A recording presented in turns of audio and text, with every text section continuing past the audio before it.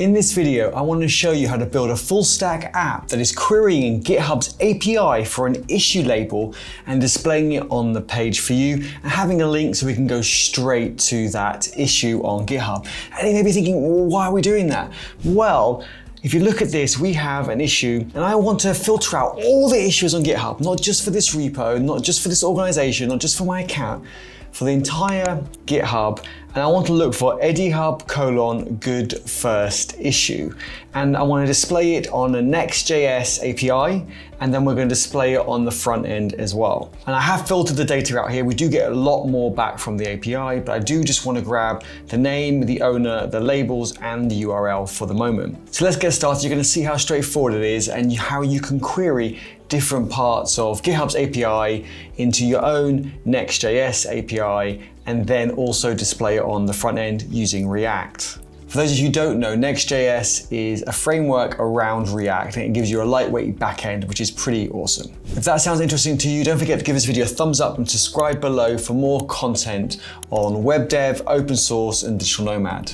So first thing we need to do is actually create our project. So to create a Next.js project, we can do npx create next app and we can put a version number here. We're just going to use latest and we can send a second parameter with our actual project name and folder name. So here we can just say YouTube video.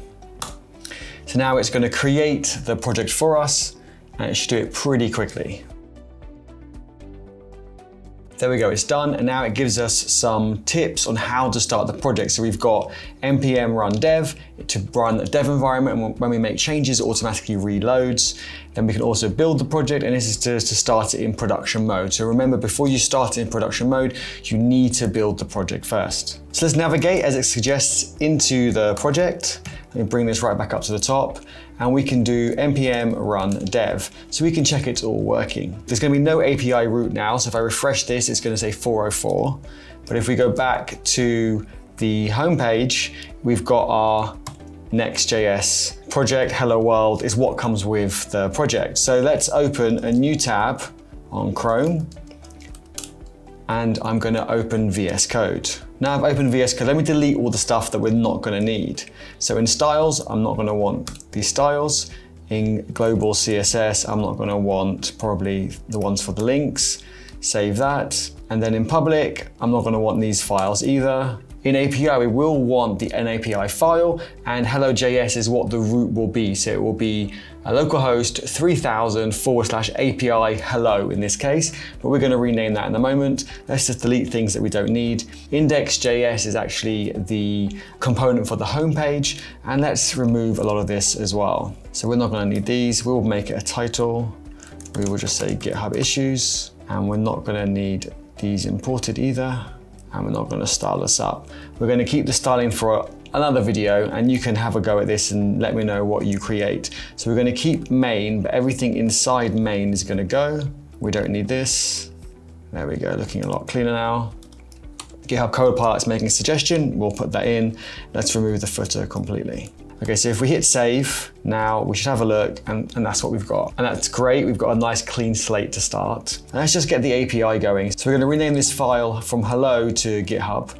And then what we're gonna do next, we can leave the output as it is for now. And what we're gonna do is we go to now API forward slash GitHub and refresh it, you can see we get name John Doe.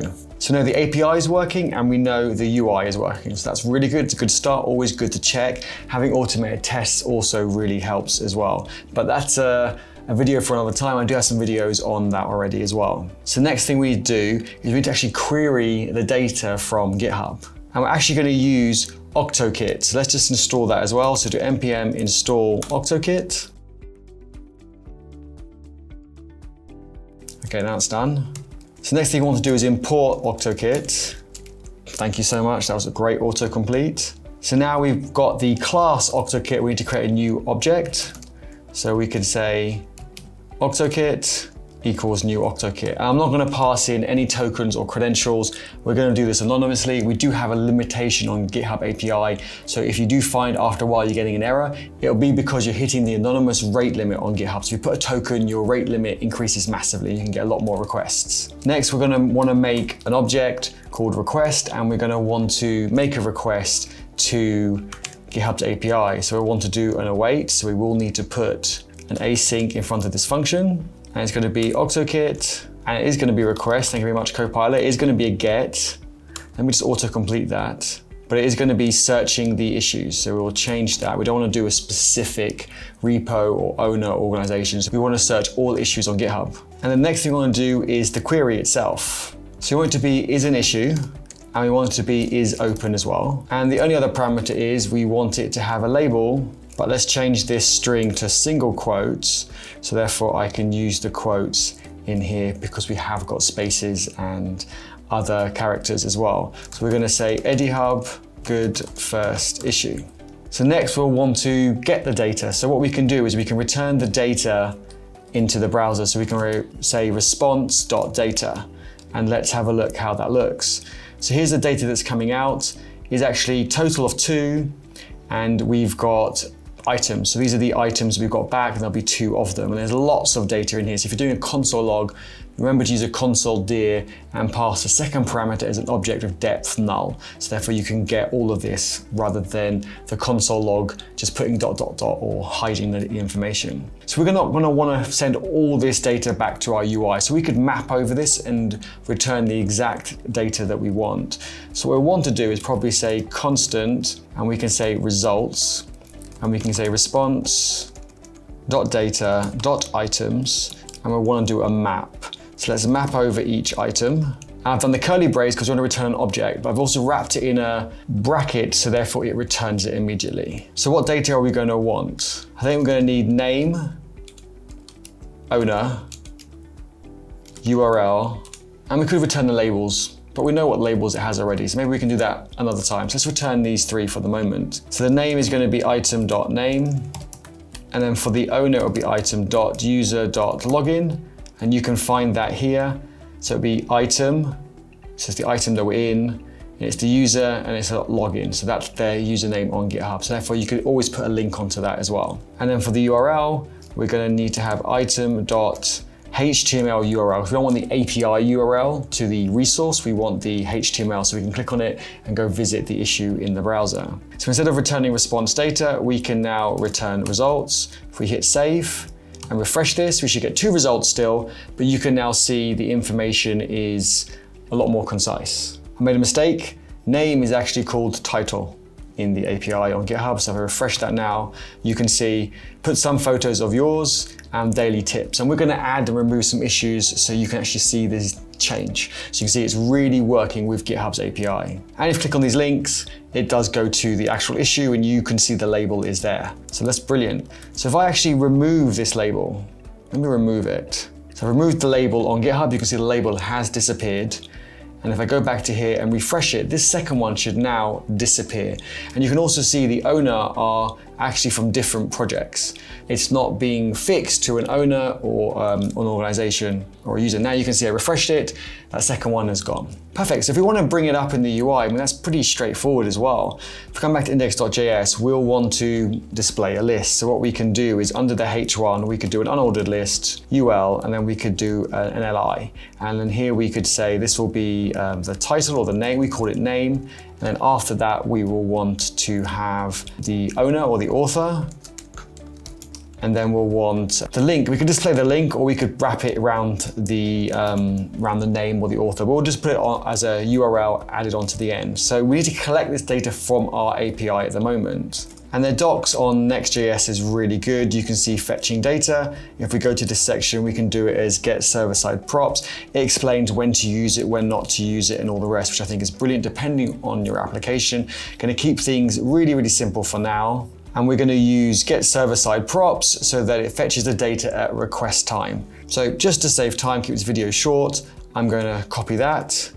I'm gonna put it above here now, and I will remove the, the comments and the URL will be localhost 3000 and it's going to be API forward slash GitHub as we saw in the browser. And it's going to get sent to the page under props with the object data. So we'll just do that now. And then here we can start looping over the data. So what we can do, we can open a curly brace and we can say once you've got data and let's also map over the data as well. We're going to call it an item and then we're going to display the li, the list item here. So if we say it's li, so the name, so here we can say item dot name, and then we'll want the author, so we can use curly braces and do item dot author, And then for the URL, we can do item dot URL. There we go, let's close the curly brace. And I have got an error here. I'm missing a bracket. Yes, I am. There we go, that should look better. I just automatically formats it. Love the settings in Next.js. So let's have a look at the page. So the API still works. We've still got one result as we expect. We haven't changed anything on GitHub. And if we load this page, we do actually get the title, which is correct. The author isn't there, but the link is. So why is the author not there? Did I not call it author? Let's have a look. I called it owner. So that's my mistake. So this is why TypeScript really helps sometimes as well. So if I save it, and now you can see that it's got the owner of that. So let me go back to this issue that we had open.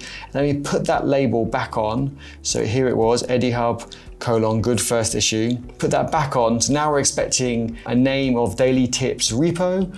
I will be the owner of that and the link should be this one to issue 71. So let's hit refresh with no code changes and it does appear. So if I copy this, and paste it in, I can, I can put a hyperlink on it. You can see it goes to the, the same one. So it does work. So now we're querying GitHub's API and displaying it in the browser. Yes, it does need styling and I'm sure you can have fun doing that using Bootstrap or Material Design or Tailwind. There's so many that you could use.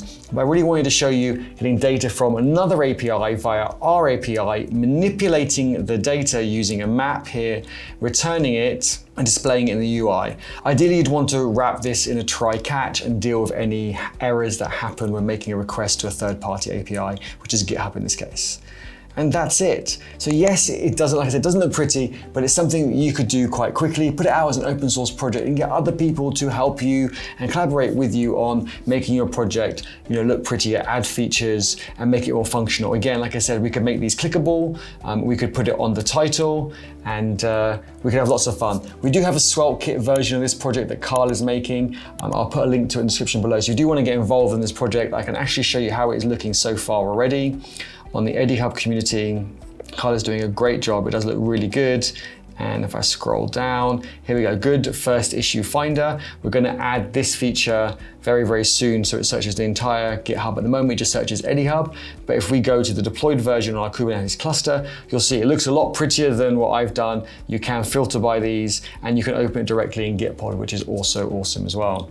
Look forward to seeing you in the EddieHub Discord as well so we can chat and collaborate between live streams and videos.